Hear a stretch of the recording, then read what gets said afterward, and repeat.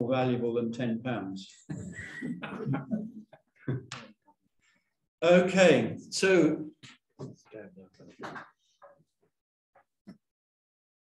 uh, welcome to the meeting and the talk with Gavin Esler. Um, I'd like to welcome you all here in the room, but I'd also like to welcome you out there across the country in various places. I know in Oxford, I know in Northeast, and various other locations that you are in. Um, it's a, to say the usual cliched phrase, it's a great honor to be in the same room and to listen to Gavin Esler, I think would be a complete understatement. And as I said, it's a cliche. I think it is fantastic that we've got Gavin Esler that has actually found time to come along and to speak us, to us about his book, How Britain Ends, but also to go into a question and answer session afterwards. Uh, bearing that in mind, the question and answer, uh, I say to those online, please, please, please write the word question in front of your question. I attend a lot of Zoom meetings and often it's hard in, to see which is the question in the chat. To those here in the room, we will take it in turns, depending on the number of questions. And I know that Gavin said he enjoys the question and answer because he likes relating to people. Being a journalist, uh, a good one, an exceptional one, like Gavin, um, would suggest something about the actual journalist. It would suggest that that person has an understanding and an empathy for the person whom they are interviewing. And uh, because the better you are, the better you will ask the questions. And I think Gavin, as we all know through BBC Two Newsnight and through various other occasions, and he then doesn't just sit there with all that knowledge, he actually writes books about it. He's written novels, he's written um, uh, factual books. Uh, the book written before this one was also uh, a very uh, well-known one. Um, and I can recommend that to you. Now, less of me, more of Gavin. So I hand over to Gavin Esler.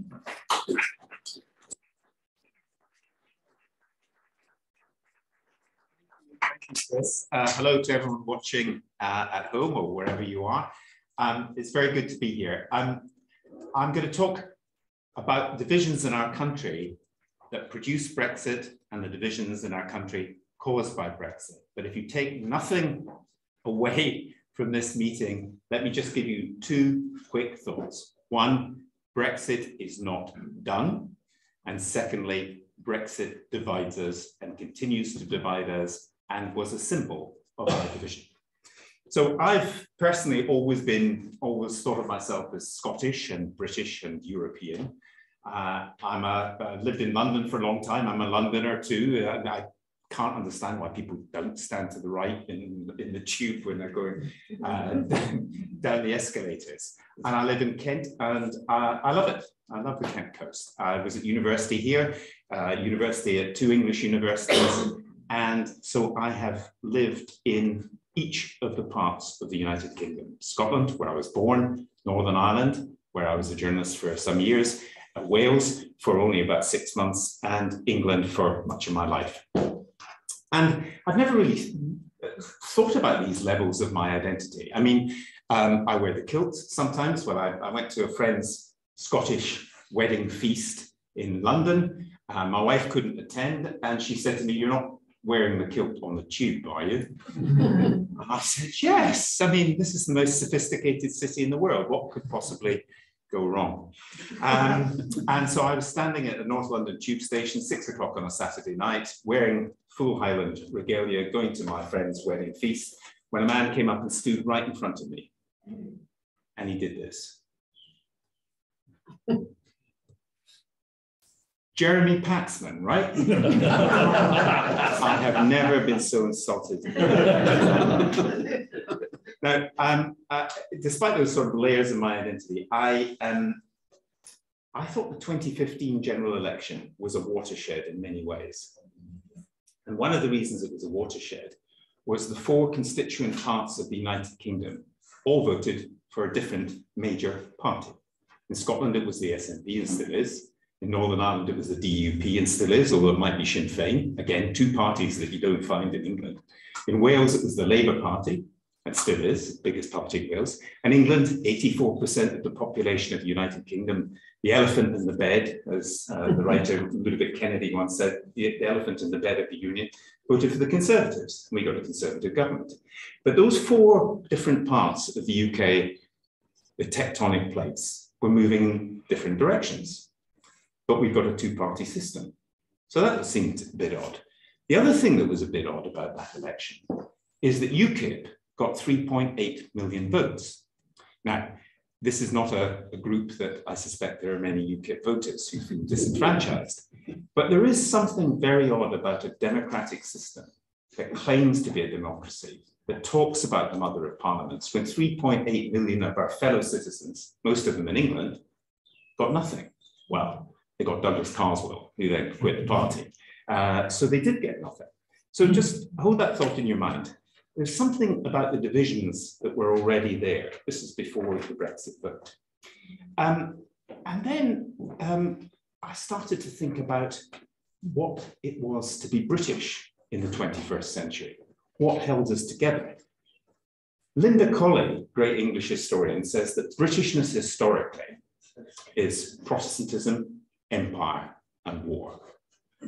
Protestantism, less salient than it, than it once was, uh, empire, of course, the empire has gone. War, I'm not sure about Putin, but it has tended to recede in our national consciousness. And you see the Protestantism, empire, and war sometimes in Northern Ireland in the, the marching season. But do those things matter so much to people quite the way they did? When the, um, the union of the United Kingdom came about in different, different names and different guises, it came about when James VI of Scotland became James I, as we all know, we're all taught this at school. And James I said, we have thought good to discontinue the divided names of England and Scotland and resolve to take the name and style of the King of Great Britain. And we, the British, stood together, usually against foreign foes. For a long time, it was against Catholic Europe. Uh, and then it was, of course, against the French right up until 1815.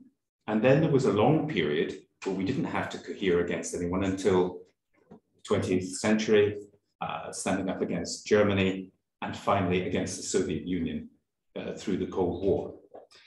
One of my heroes from this period is somebody who's not often remembered these days, but he's a man called Arthur Greenwood. And Arthur Greenwood in 1939 was deputy, Labour, uh, deputy leader of the Labour Party. And in September 1939, when Nazi troops were pouring into Poland, and no doubt at the time they called it a special military operation, not an invasion, because there are certain echoes that we see. When that happened, there was a debate in Parliament. And uh, Arthur Greenwood stood up to talk on behalf of the Labour Party. Leo Amery, a very right wing conservative, on the other benches, the government benches, called out, Speak for England, Arthur. And Arthur did. And he said this was unacceptable and we had to go to war. We couldn't stand by. But he spoke not just for England, he spoke for Scotland, Wales, Northern Ireland as well. He spoke for the British Empire, he spoke for decent people actually around the world.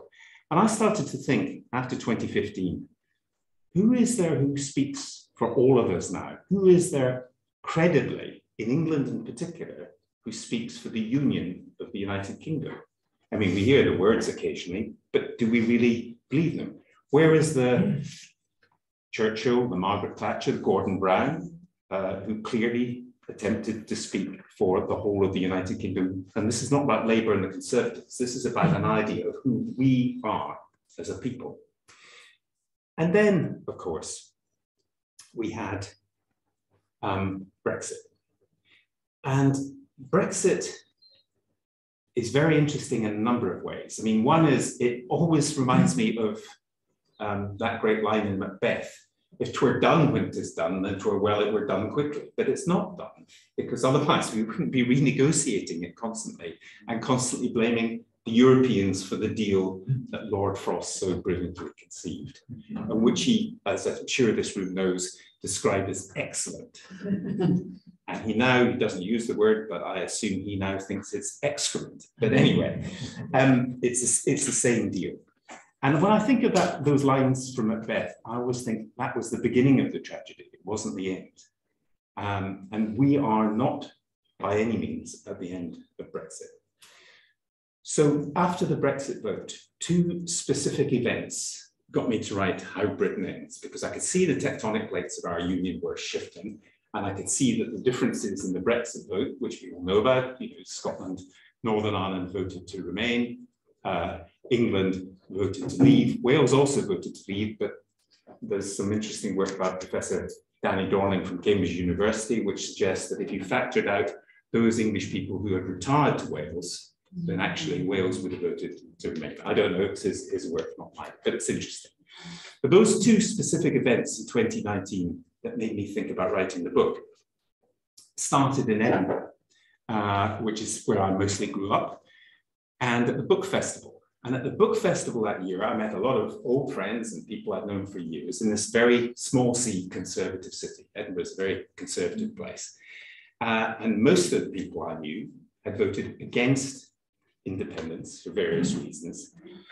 And one of them was really outraged by Brexit, by the Brexit vote, because two thirds of Scottish people voted to remain. Every electoral district in Scotland voted to remain. My friend said, I'm Scottish and British and European, but now those, I'm going to use the word politicians, but he used a different word, but I don't want to use uh, the, the correct word, the word he actually said here. I'm Scottish and British and European, but now those politicians are taking away one level of my identity as Europeans.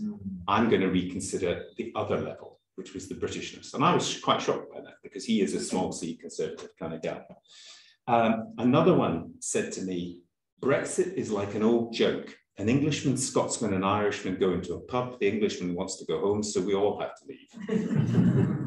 And when I argued back that Boris Johnson says he's a one nation conservative, I was told, well, the one nation is not the United Kingdom. It must be England because it's not us. Now, that's one of the reasons why, I mean, there are other reasons too, but that's one of the reasons whether, whether you're against or, or, or in favor of Scottish independence, that is not going to go away. And something similar happened two or three months later when I went to Northern Ireland. Um, I, I, I, can, I can tell you in this room that, uh, say it in the book, that the Eslers were German Protestants who uh, moved to Scotland during the 30 Years' War in Germany. So we were immigrants. And we, some of our family moved to Northern Ireland about 100 years after the plantation of Ulster and got land in County Antrim. So they're Protestants and Unionists. And 12 members of my family vote, uh, signed the Ulster Covenant of 1912 to remain within the United Kingdom. So I know Ulster loyalism uh, very well. I know many people who are unionists. I visited Northern Ireland about uh, three days, four days after uh, Boris Johnson met Leo Varadkar, the Prime Minister of Ireland, um, at the Wirral. And essentially, according to one of my friends there in Northern Ireland, through 100 years of Ulster unionism into the Irish Sea. Because the border, which had been, as we all know, such a point of contention for 100 years, Mr. Johnson said at one point, it's no more significant than the border between Camden and Westminster. I beg to differ. More than 3,000 people died in horrible circumstances, either to preserve that border or to get rid of it. Um, this moment was really quite profound to some of my friends in Northern Ireland. One of them said to me, um, Mrs. Thatcher used to say that uh, Northern Ireland is as British as Finchley. Boris Johnson has made it as British as France. now, I've been back to Northern Ireland quite a few times since, since then, and I was there uh, just before Christmas, and I was talking to what we will call politely um, former combatants in, in Northern Ireland. In the Protestant side, uh, in West Belfast, I said to some of them, you know, the deal that Northern Ireland got from, in terms of access to the European Union markets, is something people in Scotland might actually quite like, something that Welsh hill farmers might quite like, English cheese producers might like. And they said, yes, but it makes us feel different. We're not being treated the same way as England, Scotland, and Wales. And that is why the problems in Northern Ireland, unfortunately, continue. The subtitle of the book is uh, English nationalism and, and the, the future of these four nations. I just wanted to say a quick word about that because within, let me put it this way, since we're uh, still talking about Northern Ireland, Ian Paisley Jr., who everybody here knows is a very famous name and a very famous father, the, the kind of creator of the Democratic Unionist Party, of the Free Presbyterian Church, a real firebrand preacher who brought unionists into the power sharing agreement. It was quite remarkable, really was remarkable. And, and we seem to have forgotten, I mean, we we're all shocked by uh, the murder of, um, of Mr. Amess in Southend. But do we not remember Anthony Berry, who was blown up and Mrs. Thatcher was almost killed? Do we all not remember the Reverend Robert Bradford, another MP, who was murdered, or Ian Gow, or Airey Neave? Now that doesn't happen anymore because the troubles in Northern Ireland, which lasted for 30 years in that most recent incarnation, passed into history because the border was no longer a problem. It was kind of Schrodinger's border. You know, if you felt you needed it, it was there on the map, but if you didn't need it, you could just travel across it. It changed things completely. And Brexit has blown that sideways. And Northern Ireland was never, I, I, I listened to many and interviewed many politicians in 2016 about the Brexit vote. Nobody mentioned Northern Ireland. Nobody mentioned the border. Ian Paisley Jr. said recently in the House of Commons that, uh, let, me, let me see if I can find the, the, the, the correct quote, because it's very, very interesting coming from him. He said that, uh, I don't know if I've got it, I've got it here. But he said that he feared that the Conservative Party of Boris Johnson was no longer a unionist party, but it was an English nationalist party, yeah. which did not think about the union of the United Kingdom. Yeah. Yeah. And I agree with that sentiment. I think he's right. And I think he's right. People in Northern Ireland who feel that they are unionists have a right to feel abandoned. The former Prime Minister Gordon Brown, so that's DUP, another unionist, the former Prime Minister Gordon Brown, said in January uh, last year, I believe the choice is now between a reformed state in the United Kingdom and a failed state, because he's worried about the union. George Osborne, in January 2021, said that, Conservative former Chancellor, said that Boris Johnson could go down in history as the worst British Prime Minister since the one who lost the American colonies in the 1770s, Lord North, because by unleashing English nationalism, this is, this is what uh, George Osborne says, by unleashing English nationalism, Brexit means Northern Ireland is already heading for the exit door of the UK. It may join with the Irish Republic. Scotland appears determined to follow with profound results for England. The rest of the world would instantly see that we, Mr. Uh, Mr. Osborne means England, we're no longer a front rank a front rank power or even in the second row, we would instead be one of the great majority of countries who are on the receiving end of the decisions made by a few, subject to the values of others. We would become another historically interesting case study in how successful nations can perform unexpected acts of national suicide. And since we've had a Northern Irishman, a Scotsman, and an Englishman, let me end with a Welshman on this. This is Wales First Minister a Labour politician, again a unionist, Mark Drakeford, speaking before the Parliamentary Welsh Affairs Committee. What we have to do is we have to recognise that the union as it is, is over. We have to create a new union. We have to demonstrate to people how we can recraft the UK in a way that recognises it as a voluntary association of four nations in which we choose to pool our sovereignty for common purposes and common benefits. Now, what's interesting about that is these unionists in England, Scotland, Northern Ireland, and Wales who care about the United Kingdom recognize we've got to change and that Brexit has caused great problems, existential problems, I would suggest. Now here, just to get somebody who captures the English nationalist view, let me um, quote Louis de Bernières. you know, Captain Corelli's mandolin. This is him writing in the Financial Times. The logic of Brexit, Brexit should take us further. It has been increasingly obvious to me and fellow leavers for years that the English would be better off on their own. It seems ever more obvious that Ireland can be reunited, reunified, because all the very good reasons for the North resisting this have gone. The Republic is no longer a corrupt, backward country. It is an energetic, vibrant place where anyone would love to live, including me. And he then says, if Ireland were being strictly rational, it would also leave the EU and opt for an Anglo-Irish economic zone.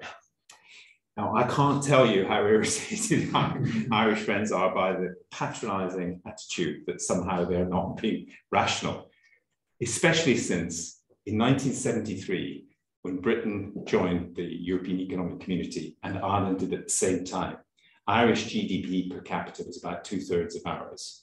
And it's now about, I think it's 25% higher than ours. So Ireland is doing very well. We, however, seem to be in some difficulty. So let me wrap up because I'd love to take some questions. Brexit was not the start of our divisions, but it was a symptom of it. We have profound problems now in trying to figure out how, if it's possible, to at least ameliorate it, if not reverse it. But we're not helped by the fact that there is no Arthur Greenwood today in England that I can think of. Maybe, maybe you can. There are people, of course, who care about the union of the United Kingdom, but there is nobody making that case. And far from making that case, we have in the Johnson administration arch condescension towards the Irish Republic, towards the politicians in Northern Ireland, some of whom I very much disagree with, even to their own conservative colleagues in Scotland. When Douglas Ross suggested, the conservative leader in Scotland suggested that Boris Johnson was unfit to lead his party and our country, Jacob Rees-Mogg said he was a lightweight. Mm. Now, to be called a lightweight, lightweight by Jacob Rees-Mogg is really pushing it. Thank you very much.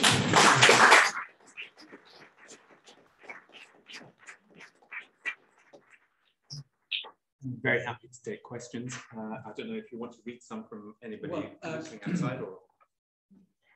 Yeah, we've got online questions. We've, we've got some online questions. Maybe some I'd say we'll take some questions from the floor and then we'll come in. So, hands up with questions. Can I, can I kick off with one yes. as you've spent time on Ireland, obviously? Um, do you think we, uh, the English or the British, should have been doing a great deal more in the past to push Northern Ireland into the Republic? Um, Northern Ireland to me seems a, a, a panic sort of uh, solution back in 1921 after the Civil War in, in, Ireland. It was always meant to be a short-term solution. In fact, it's now lasted a century. And um, I know there are lots of difficulties in implementing it, but I do think, looking back, British governments have been um, uh, rather lax and relaxed about uh, the, the, whole problem. And it, this is, we, we should, I think, push Northern Ireland into the Republic. Well, I don't, I don't think we should push people uh, into doing things that they don't want to do. But I do think that our country has been bedeviled by a kind of complacency in the idea that we somehow muddle through. What we do is we muddle. Uh, whether we get through or not is another, another matter. And the question of Ireland in 1921 is a very instructive, I think, for considering Scotland now and possibly Northern Ireland now. Because what happened was a suggestion in the 19th century for many years of home rule for all nations, a kind of devolution for everybody, including England. And of course, this was rejected repeatedly by the House of Lords until Home Rule for Ireland finally passed just a month or so, or the same month, I think it was, when World War I broke out. Mm. And the result was that Ireland broke away from the United Kingdom, or 26 counties did. And Northern Ireland was created in order to avoid a bloodbath. But one of the things that really strikes me as very odd is every person in this room, and in fact, every person in every audience that I've ever talked to up and down this country in the United Kingdom mm. learns that at the end of World War One, Germany, because it lost, lost a huge amount of territory. It actually lost 13% of its territory. This was swinging. Nobody in our country ever learns how much territory did the United Kingdom lose at the end of World War One. It was the 26 counties of Ireland, and it was 22% of what had been, then been the United Kingdom, largely as a result of complacency and muddling. Mm. Extrapolate from that to 2022. I hear the Louis de Bernières view and others, oh, let, let the Northern Ireland people go, get rid of them. Or let Scotland go. They'll, they'll, they'll really regret it. It'll be terrible for them. Well, there are all kinds of challenges about Scottish independence. I'm not advocating it. I'm just, I can go through some of them. But nobody ever in our country talks about the challenges for England if Scotland were independent. Mm-hmm. The first challenge would be that the United Kingdom, as currently constituted, would lose about a third of its landmass, 32%. The second challenge would be it would be 60% of our sea area, because the sea area from Scotland goes from Rockall to Shetland and then out to the, the North Sea. And remember all the fuss that we had about fish. Where do you think the fish are? they, they don't have St. George's Cross on them, nor would they have actually St. Andrew's Cross, but you 60% of the sea area. We would also in the United Kingdom have to consider what we're going to do about Faslane and the nuclear um, deterrent, which is there, which is one of the things that is occasionally mentioned. We would also have to manage a border somehow. Now, the border in Northern Ireland, between Northern Ireland and the Irish Republic, the genius of the Good Friday Agreement was that the border ceased to matter for everybody, actually. What would we do about the border? And what would we do about the United Kingdom's permanent five membership of the um, UN Security Council. Because when the Soviet Union collapsed, Russia had to apply. Nobody objected. Russia, of course, took the Soviet Union's seat at, on the Security Council.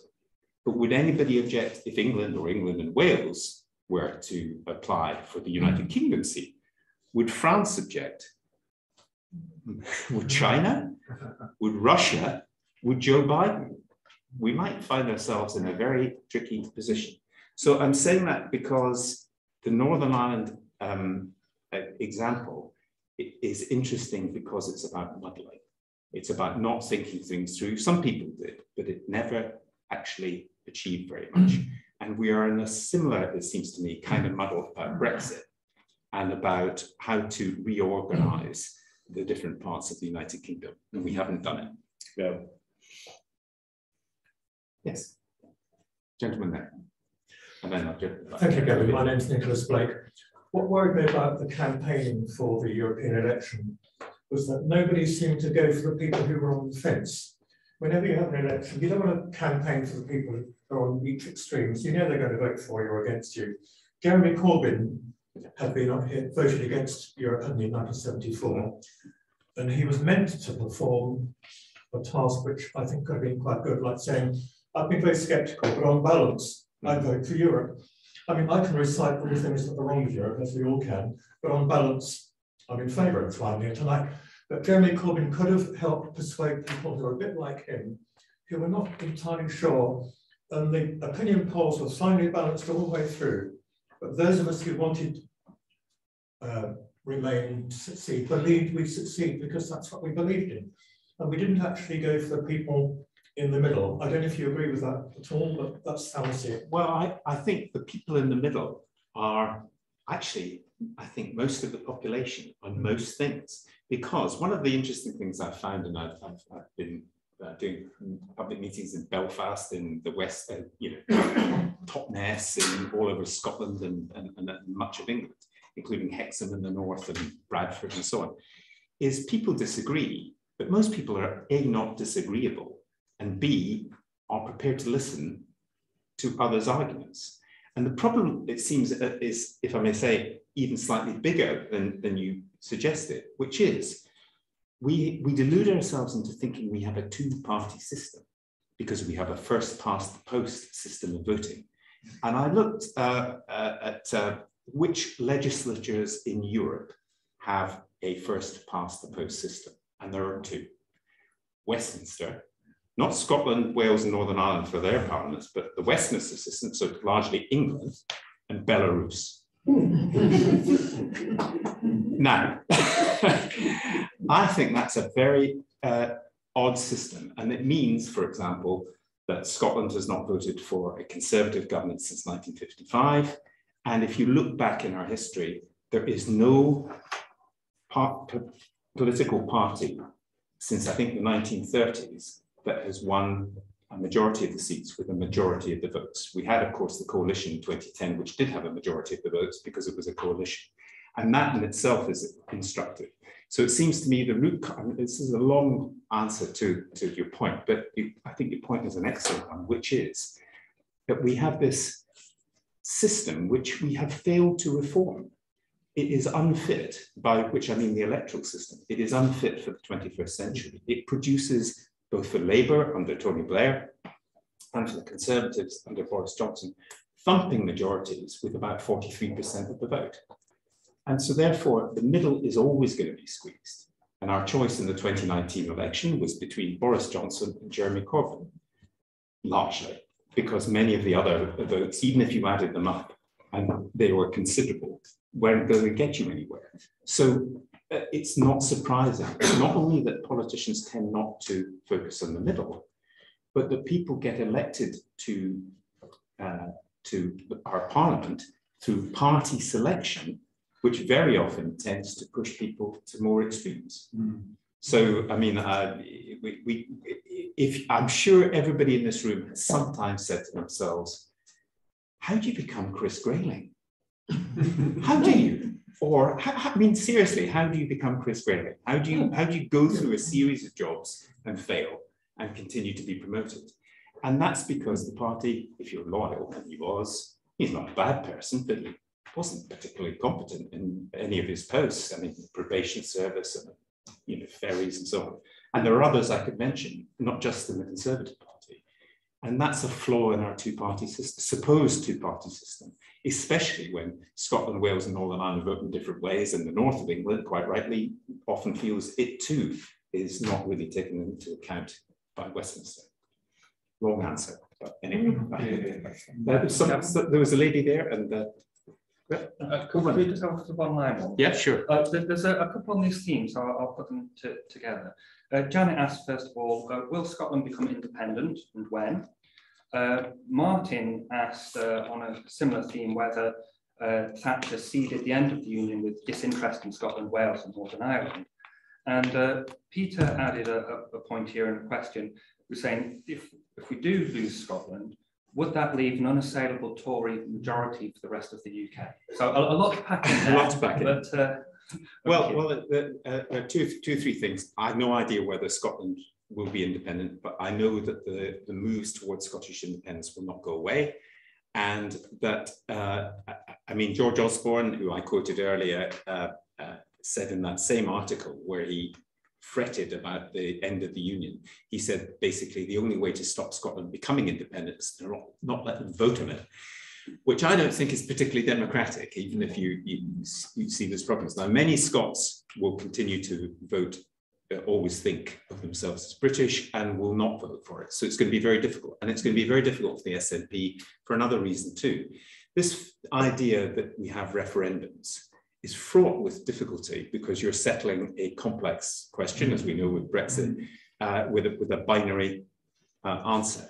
And if Scotland were to vote for 51%, 52% in favour of independence and 48% against, that would mean how do you bring 48% along? So it's difficult, but I think it could happen, and the question will, will not go away. And as, as, as for the future of England, I think the key thing that really strikes me is that England has lost out in devolution. Scotland, Wales, and Northern Ireland have, you know, Boris Johnson said, um, uh, well, I should say that when Boris Johnson goes to Scotland, uh, SNP people I know complain publicly but are delighted. And uh, conservatives are welcoming, and, and, as one put it, we die a little inside because they know he is not the Arthur Greenwood of our, our day. Um, so the, the, the question of who can pull all these threads together in Scotland, it isn't him, uh, and it won't be him. So for now, he is quite a vote winner, it seems to me, for both independence and the SNP, even though, even though we face a common threat from Russia and a common threat from coronavirus. The coronavirus one didn't particularly pull us together. Scotland went its own way too. So you can see that the, the, the, the uh, Scotland took different decisions at different times, as did Northern Ireland and Wales. So the impulse for devolution remains, and possibly for independence, but England remains one of the most centralized countries in Europe, unlike Sorry, France. Just, just on that, um, talk about devolution, because Richard from Hertfordshire asked on that point, um, what would be the best way, in your opinion, to promote further devolution in the UK to help hold the union together? Well, I think uh, for, for me, the as I said, the biggest losers have been uh, in England. So it seems to me I'm not suggesting a return to Wessex and, you know. Why not? Although somebody did say to me, what about free Cornwall? But that's a, I mean, how you actually divide the cake is, is quite difficult because England is quite a, as we know, a very complex polity. But, but let's build on what we've got. There are great cities with mayors who are quite popular. Uh, there happens to be a Conservative mayor in Birmingham. There happens to be Andy, Andy Burnham in, in Ma Manchester. Uh, uh, uh, Liverpool's got a mayor. Why not extend the mayoralties to other places? They, they remain popular. The idea of them remains popular. Why don't we take decisions more locally? And also, we have this idea um, that we're not already federalized by stealth. This is something I go into in the book. I mean, we don't have we don't have anything as as sort of um, easy to understand as a written constitution or as Germany has a basic law saying who does what. We've just muddled through. But in that muddle, we have, you know, there is no British education system. The system in Scotland is completely different. There are no British, there is no British university system. Again, the universities in Scotland are very different. The, the legal system in Northern Ireland and Scotland is very different. The BBC is, is heavily devolved and will be more, more and more devolved. So why, if it's okay to do it in Scotland, Northern Ireland, and Wales, and I, th I think it's even better than okay, it's quite popular. I'm not saying that people like the administrations necessarily they've got, but they like the idea of local power, local people deciding local things. But in England, that has not been quite the case. And what we have had instead, particularly since 1979, is unfunded mandates for local councils, where councils get told to do more things but they don't get any more money for it. And we haven't really thought that through. And nor have we thought through exactly who does what. And that, that leads to all kinds of problems, as we saw when the prorogation of Parliament took place. Yes.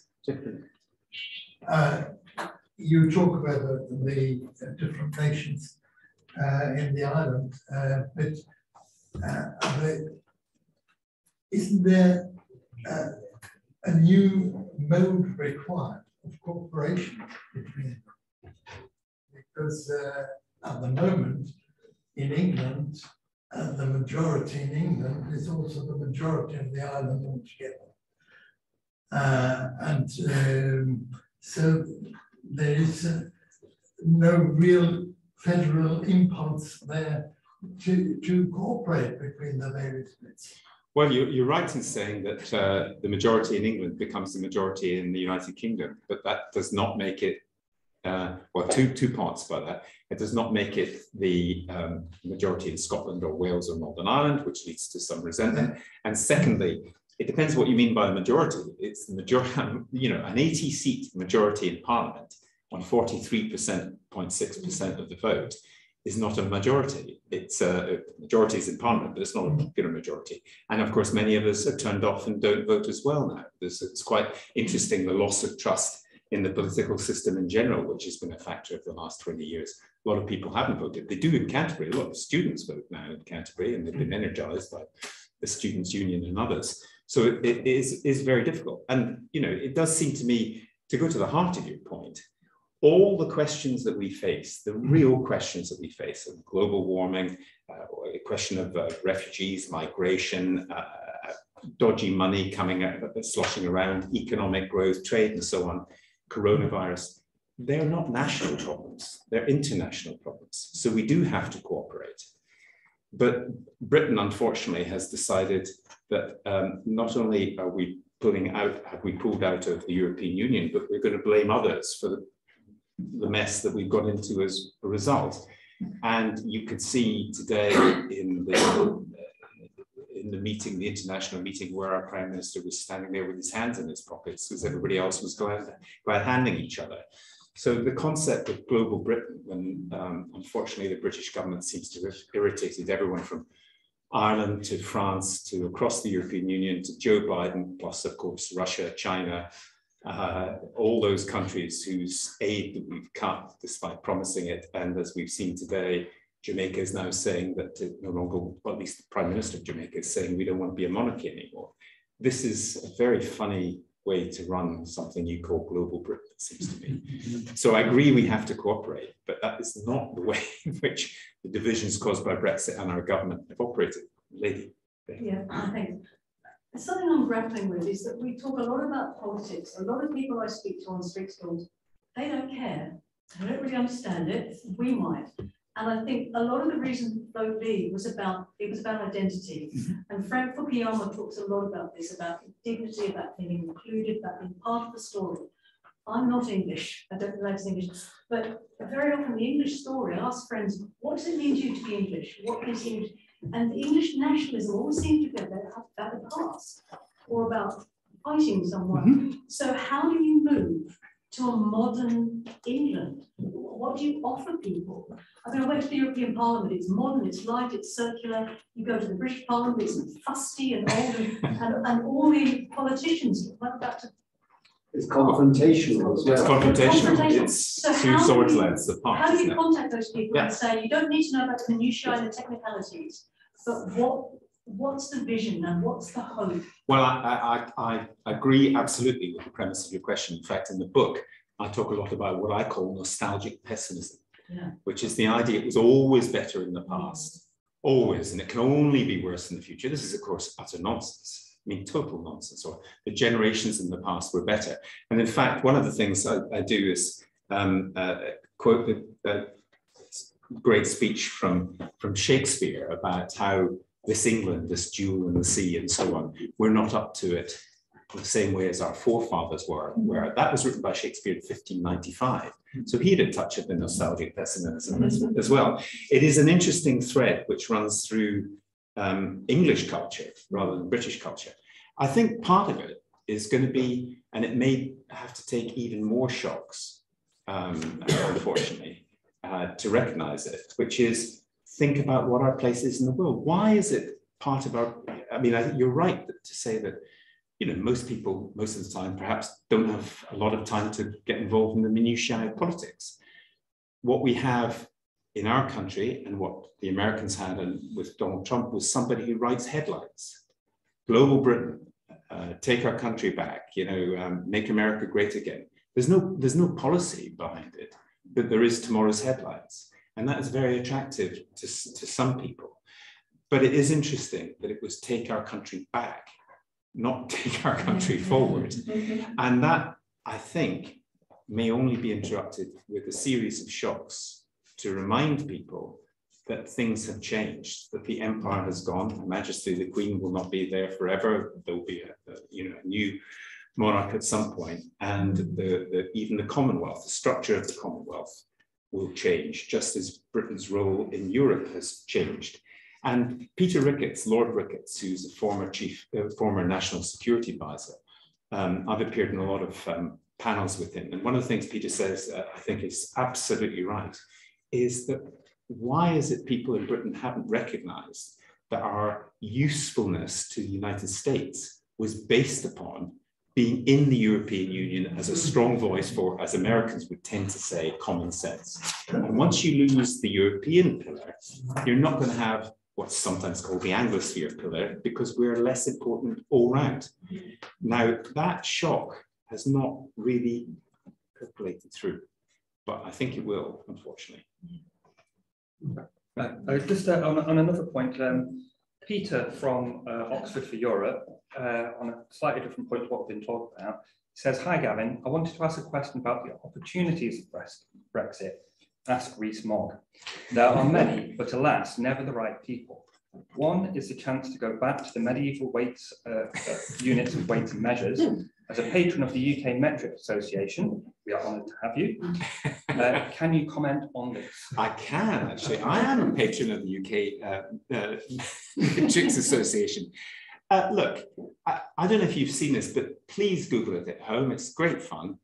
Uh, if you want to help Jacob Rees-Mogg, Google which countries around the world have the old British imperial uh, weights and measures mm-hmm. In, in their country. And what comes up on the map are three other countries apart from the United Kingdom.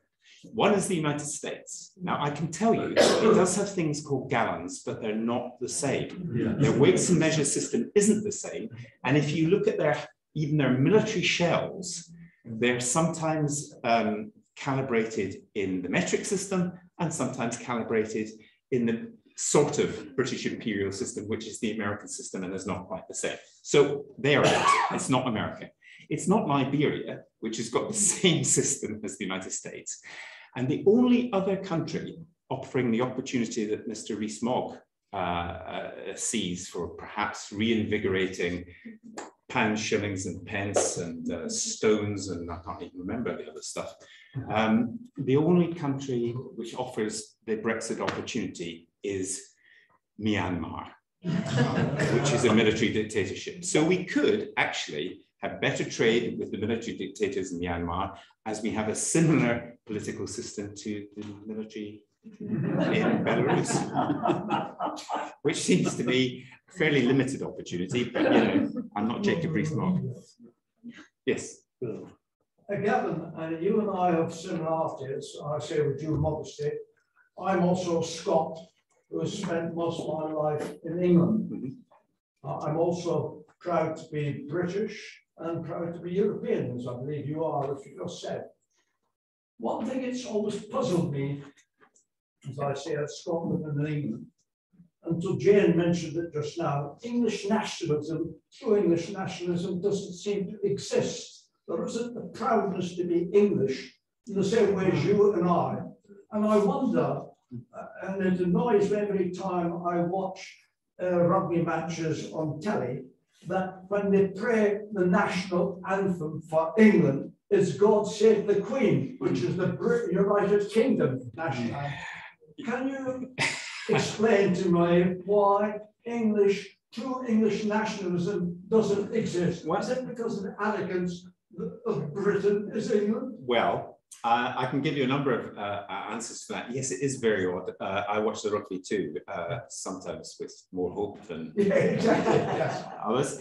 Uh, uh, well, part of it is the elision between Britishness and Englishness. If you're 84% of the population, you possibly don't care, if, you know, and I, I, love this great quote from Cecil Rhodes, right? Uh, I think it's 1898, something like that. He said, Ask any man what he would rather be, and 99% of them round the world would say he'd rather be an Englishman.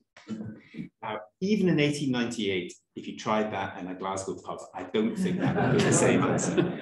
Um, but, the, but the elision, which you know is, is kind of natural, if you're the biggest part of the union, you're going to think of it.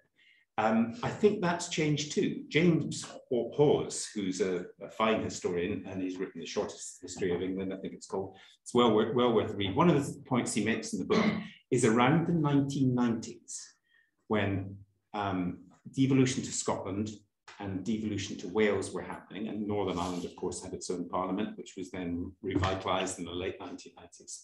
You saw many more England flags than Union Jacks at mm. England football matches, and that has continued to this day. So he he is suggesting, and I think others suggest that, that, that a kind of English nationalism has developed, and there's not, nothing wrong with it. Um, the only thing I would say is I, I, I, try to think of it in slightly different terms, which is patriotism is what's good about us. You're patriotic because you think your country is great. I mean, uh, so you're patriotic because we'll think of all the great things about England, our culture, or our, our literature, or uh, and sometimes even the football team. And but nationalism can edge into something which is not about us; it's about them. It's about the people we don't like, and you see that edge still for example, in, uh, in, in, the Euros, the booing of the Danish national anthem, which I thought was very, very odd. Now, of course, of course, it's just a bit of football, perhaps, but but it it, it, it elides in different ways, both Englishness and Britishness together, and also the good sense of all the great things about Scotland or England or Wales or Ireland or whatever it is, and also creating the sense of another that we don't like. Uh, Janet's got a question. Um, she would like to know your thoughts on what would happen if Sir Keir Starmer pushed for rejoining the single market and customs union.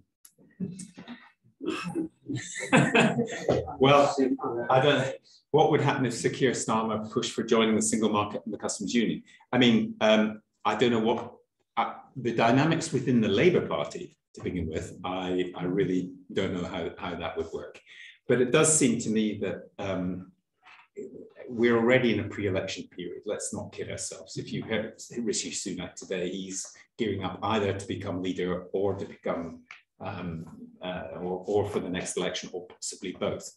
Um, and in that election, I think it's you cannot expect, I don't think, uh, the Labour Party or possibly anybody else to say we will rejoin the European Union, but you can expect them to say we will work towards a much more positive relationship with the European Union.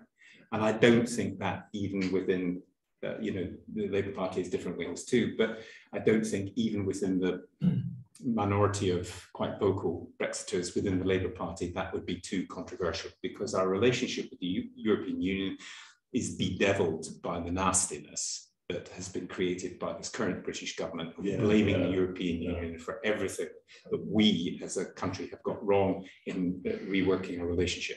So I don't know whether he would say, Keir Starmer, we should rejoin the single market customs union. But I do think if he said we will have a much better relationship with the EU, he'd probably be on a vote winner. Thank you. I'm, an Englishman living in England, not necessarily very proud of it, but when I lived in St. Albans in 2019, I voted for the Liberal Democrats, and I'm very happy to say they won the seat. The, the next election, now living in Canterbury, I look forward to voting for Labour, and I hope that Labour will retain the seat. And I'm not certain, by the way, I don't think Starmer's got any choice but to say what he's saying at the moment but we know his heart's in the right place because that's what he was talking about before he became leader. Um, I don't think Labour's got a chance, unfortunately, in some respects, of winning an overall majority. I, but I think there is a chance of getting uh, a coalition of the opposition parties. Um, what are the chances, do we think, of doing a deal with Nicola Sturgeon, which would say let us get PR introduced in parliamentary elections first. And once that's done, then you have your referendum on Scottish independence. because my concern about Scottish independence is, of course, living in England, that it condemns us to years of Boris Johnson or similar,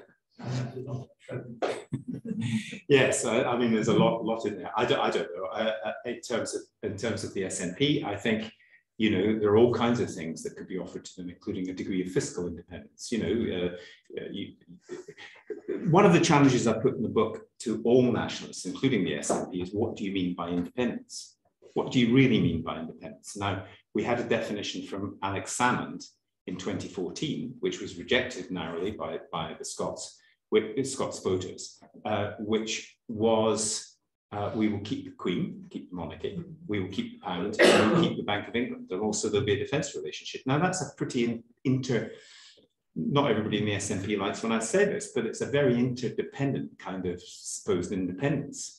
Now, it's it's in other words, it's a long. I don't think that um, I know a lot of people in the SNP, I have great respect for them. They're not wreckers. They don't want to, they're not going to just do, uh, have a Lord Frost who's going to say, well, we're just having this and we're going to take the ball and move away. They recognize they need a good relationship with England. And so somewhere between where we are now and some definition of independence, we're going to have to realize that we're always going to share the same island and that, that we will always actually have to work together. Um, always, there's, there's, there's no question of that. And I've never quite understood why that can't be made easier for everybody by perhaps giving giving the SNP uh, a little more, and perhaps saying to, because I share your fear about England, which is if Scotland were to be independent, I, am fairly confident that they, and I've talked to quite a few people who know much more about the workings of the EU than I do, that Scotland would be able to join or rejoin the EU because the situation is not the Catalan problem before, because it wouldn't be a member state breaking up and then a bit trying to rejoin. It would be a non-member state where a bit broke off in order to rejoin or to join the European Union. And that would leave England in a very peculiar position because you could imagine that from County Kerry to Poland, from Greece to Shetland, there would be a European Union of which England was not a part. And that was the kind of nightmare that Henry VIII used to have, the idea that we're surrounded by foreign foes. So I think, I think it's very, I think almost anything along the lines that you're suggesting is possible. The big question is whether any electoral pact before an election would be possible. And I think that would be clearly very difficult for all of them. Um, Jackie has a question, and she would like to know how far would you agree with the proposition that Britain came out of Europe to protect the rich from tax plans that the EU had? Sorry, missed the last bit of that. Oh, sorry. I'll, I'll read it out again. How far would you agree with the proposition that Britain came out of Europe to protect the rich from the tax plans that the EU had? Well, um, uh, as lawyers would say, cui bono, who benefits? Who benefits from Brexit? Uh, where are the Brexit opportunities? I would say there have been Brexit opportunities for certain people who've been able to move their money outside the UK while still being UK citizens. I'm, I'm thinking of Jacob Rees-Mogg. Uh, uh, there are benefits for uh, the Kremlin, who seem to uh, understand that the divisions in Britain are very useful to them, and that anything that undermines the unity of the European Union is of use to them. Are so if Jacob Rees-Mogg is looking for those Brexit benefits, he could find some perhaps uh, in, in, Somerset Capital, which I believe is the name of this company, and also he could have a word with Mr. Putin. For the rest of us, I'm struggling to see the Brexit benefits. So I agree with a bit of that question. But other people, but people voted for Brexit for all kinds of reasons that, that are slightly different from that. So building on some of the questions and that people have here, it's been a frustration of mine over the last few years that things like coronavirus, what's happening in Ukraine and the like are obscuring some of the um, downsides of Brexit and it's taking headlines away from yeah. Um, with with um, there being a core of people who are really for uh, Brexit still existing, how do we move forward and how what sort of catalyst is there going to be to actually propel us back to Europe and actually bring some of those people with us and rejoin us as a country? Well, I, I think I think you're right that I mean you know, Napoleon used to ask if his generals were lucky because he thought, and, and I think Boris Johnson has been very lucky because he's had been mired in scandals of various sorts and his, his frankly laziness and incompetence has been obscured by the fact that we're all trying to recover from coronavirus. We're all now very worried about the economy and uh, the cost of living and, and you know the increase in poverty and so on. And we're all worried about what Putin does next. So in that sense, he's been very lucky. And one of the things is uh, every day has been a good day to bury bad news for Boris Johnson because every day recently. Um, and those of us who, who live in Kent do understand that of course, there's dislocation at Dover because of P&O, but there's a lot of dislocation that's nothing to do with P&O. I know people who talk about importers and so on, who talk about the added bureaucracy, the added costs, the fact they have to employ other people to fill in forms which they never had to do. We all know perhaps people who posted something to a friend in, in Europe or vice versa and find that there's a huge charge. So all of those things don't really make the news, but they still exist. And, um, you know, in the end, I I, am not saying I'm, I'm, I'm optimistic that um, uh, we will have a much better relationship with the European Union in the near future, but I do think in the end facts matter. And simply to be told a lot of bluster about global Britain doesn't work. So, um, just before I ask my question, I want to take you up on the fact that you just now said that if Scotland joined the EU, uh, England would be surrounded, your words were, by foreign foes. I think that's dangerous language and not really good language. No, I, and I, we would no more be surrounded by foreign foes than say Switzerland is itself surrounded. I, I, am merely, I, I'm merely using the language that will be used by, as you know exactly who is uses that, that, that, that phrase. And it was, of course, the phrase that uh, it was, of course, the sentiment of Henry VIII. And that's that's the real real point if Brexit means, instead of taking our country back, the diminution of our country across the world, uh, the loss of status within Europe, the loss really of our strength with the Americans. And if Scotland were to join the European Union and Ireland were to be united, the situation for England would be to be surrounded by people who are part of an alliance that England would not be part of. And it would be seen exactly as, as foreign foes. And it would be very psychologically, very psychologically damaging to exactly the same people who voted for Brexit in the first place. That's why I used the phrase. But, but you had a question as well. question. Um, in England, we tend to think about um, the Scots um, in a rather friendly way, possibly a slightly patronizing way, but we sort of think of them as an endearing lot, or we think of the Welsh and their leeks and their daffodils and so on. And it's quite a tender, affectionate, rather warm feeling. Would you say that the um, ordinary Scottish person does not feel that way towards the English, or do you think they do? I think I think things have changed greatly over the past 30 years, actually. I think one of the benefits of devolution for Scotland has been a sense of control of Scots, people having control of their own affairs. And if you watch the television news in Scotland, all the things that really matter to you in your daily life, uh, uh, the education of your kids, your health service, uh, the legal system, and so on, they're all devolved, all devolved.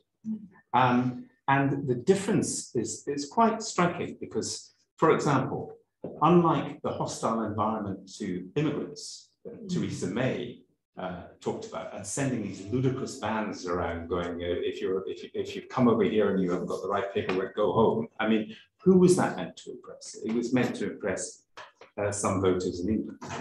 In Scotland, rather like Ireland, which has seen a decrease in their population over centuries, frankly, people moving to America to, to the colonies, they have had a much more welcoming attitude towards migrants from all over, including England, I should say. In Glasgow, if you're a Glaswegian, I was born in Glasgow, if you're a Glaswegian, you're known as a Weegian, Glaswegian.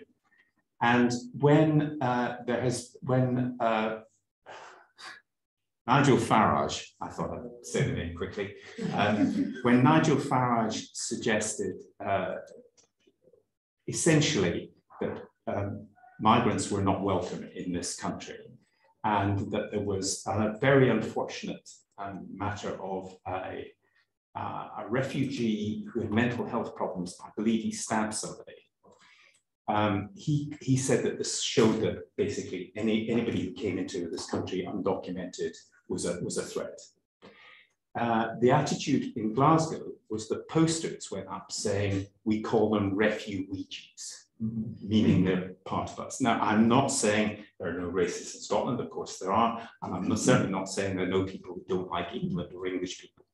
But the big change has been because of the growing confidence about nationalism and so on, that it, the sense that we need people from England and elsewhere to come to Scotland has been expressed to me repeatedly by Scottish politicians. So that has changed.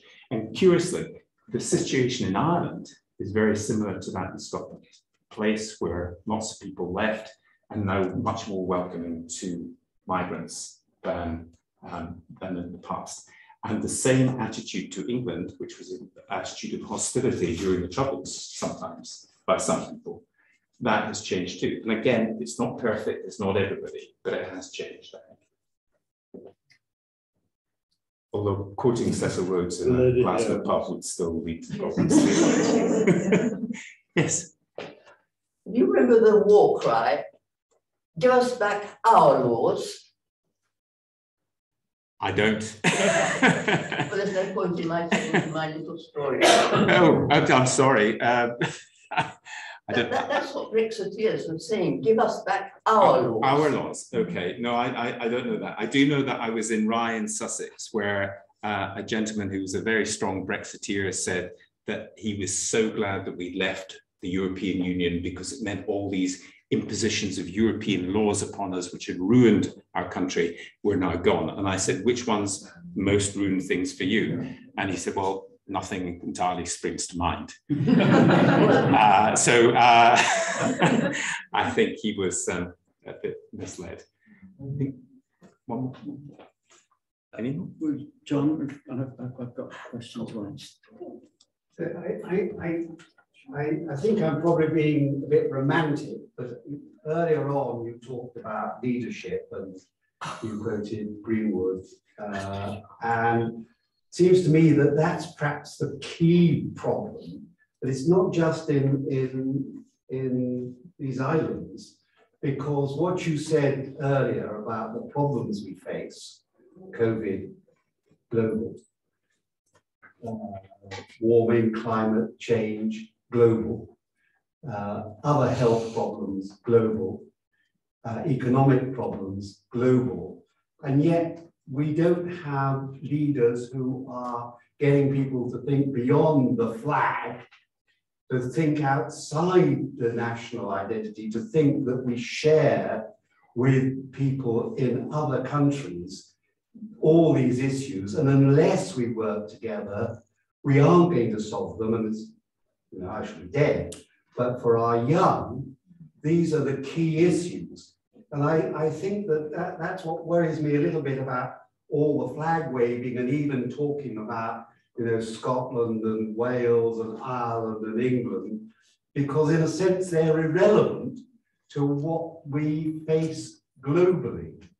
And that's where, you know, I think that, our identity ought to be our humanity. I know that sounds mm-hmm. terribly romantic and, and, and absurd, but I, I, I, I yearn to hear a politician talking about these things and stretching us beyond the sort of narrow confines of these islands and even in, in Europe. I mean, the great thing about Europe was we were beginning to transcend and people were beginning to think of themselves as Europeans rather than, you know, French or German or whatever. So I think that's what I, am very worried about. But the other thing that I, I feel that is very frightening is that we are in the world of manipulation now. And if you, I mean, keep on quoting because everybody be bored about this, the book by Zuboff on surveillance capitalism, which illustrates, and Cummings illustrated, that, that the ability to get so much personal data to manipulate people is enormous now. So there are the two things which are at war with one another, I think. You know, the sort of individualism uh, coming from sort of surveillance capitalism, and then these global issues which we, we're not getting. Sorry, I shouldn't. It's, it's your, yeah, yeah, no, very good. No, I think I agree with a lot of that. I, I think just, I know that we're coming to an end, but uh, I, I, would say this is, let me advance a, a theory to you and see if it, it, it goes down well. I think we are in an age of the politics of distraction. We're not in the age of people thinking strategically about where they want to go to, nor are we in an age of, um, of ideologies. Putin's great um, attributes, uh, it seems to me, are that he has a lot of money and he doesn't have an ideology, but he has a style. And the style is that nobody in Russia really knows what the truth actually is because they're bombarded with competing, competing views. And Trump didn't have an ideology, but he also had a style. And that was ultimately the politics of distraction. He could distract the entire world with 280 characters on Twitter. We'd all suddenly, or the media would suddenly have a, a new conversation from Trump.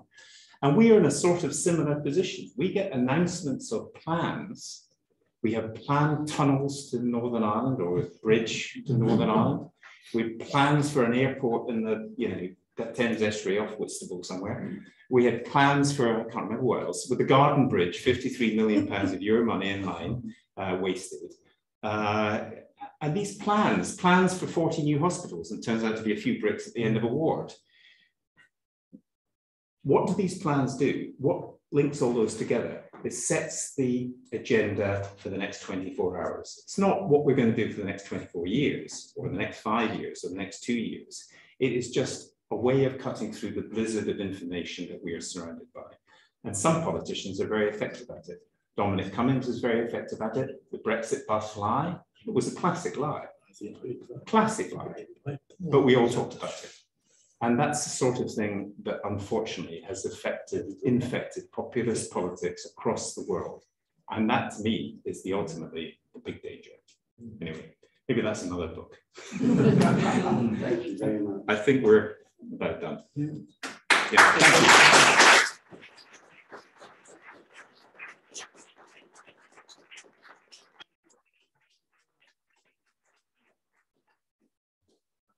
Um, I'll just say a very quick thank you very much, uh, Gavin, for a very interesting evening, um, answering as many questions as possible. I think there probably would be a lot more questions. I certainly was writing down about six or seven there.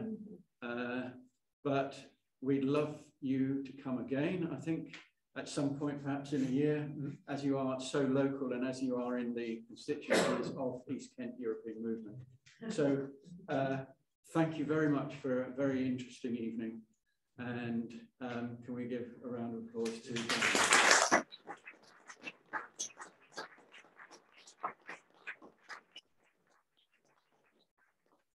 I'll just say thank you very much to everybody who is outside there across Britain uh, uh, for attending. And we will be putting on some more events here at uh, from East Kent European Movement. So hope to see you again in the next few months. Thank you and goodbye from East Kent European Movement and Gavin Esler. And don't forget the book. Exactly, there is a book for those of here. Please do purchase one and Gavin will be there to sign some copies. Thank you. Thank you. Thank you very much.